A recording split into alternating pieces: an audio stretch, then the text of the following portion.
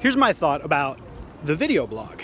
So this is episode five, and the first four days of doing the video blog seemed like a piece of cake. Um, I woke up early, I read through some content, listened to a podcast some days, and I got inspired. I began thinking about what I wanted to talk about. And then day five hit.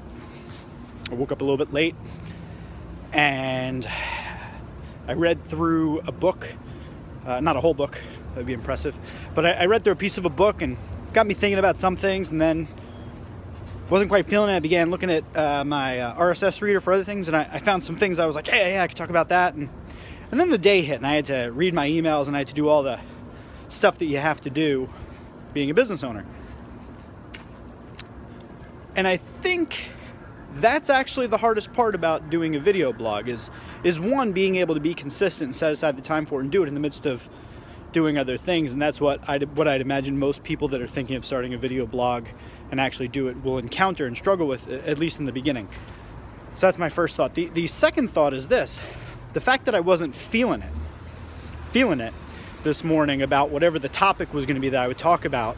I didn't have anything profound or insightful to talk about is probably the biggest barrier when it comes to either launching a podcast, a blog, a video program, or, or even just tweeting, is that we put a lot of pressure on ourselves to have something incredibly important to say and profound and valuable and unique and all of that.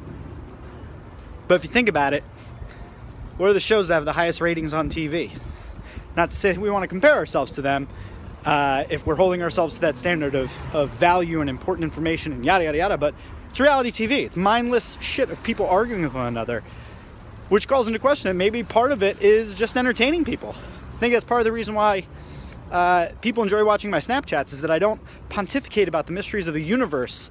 I don't uh, put myself in a social media influencer space where I start talking about, you know, uh, you know why you need to be on Pinterest tomorrow things like that is I just have fun with it. And I think having fun is something that we may miss as we try to create more and more content and position ourselves and build a brand for ourselves. So this morning, I wasn't able to get the job done. And I hit this afternoon, and I still wasn't really feeling that thing that was going to be incredible. And maybe that's okay. Maybe that's just part of it.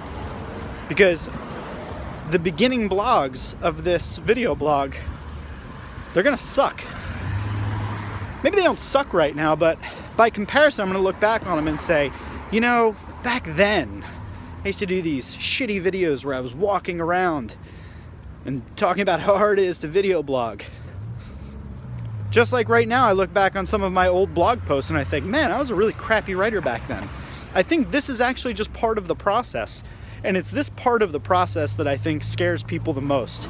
And it's the part that I'm gonna try and push through is to stay consistent, to keep putting out video blog content, to develop my video voice in the same way that I developed my written blog voice by doing it over and over and putting in the work. Just like even if you go to the gym every morning and you only lift the weights a few times, at least you're going every day.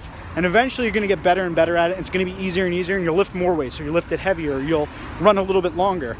I think it's just about getting into a rhythm, just getting used to it. So that's what I'm doing today. I'm not phoning it in, uh, but I'm also not trying to pretend that this is going to be the most valuable vlog that'll change your life. For me, this is just part of the process. And my hope is that opening you up to it and showing it to you that there's days where you're not going to feel it. You got you got to kind of do it anyway. Maybe that's just part of it, and hopefully it inspires somebody to keep pushing through it. Maybe put out something shitty so you can put out something incredible the next day. It's the end of this, man. Keep following me, please. I swear, it's all going to get better. Subscribe to my YouTube channel. Check me out on Snapchat. Check me out on Instagram. And keep loving one another. See you.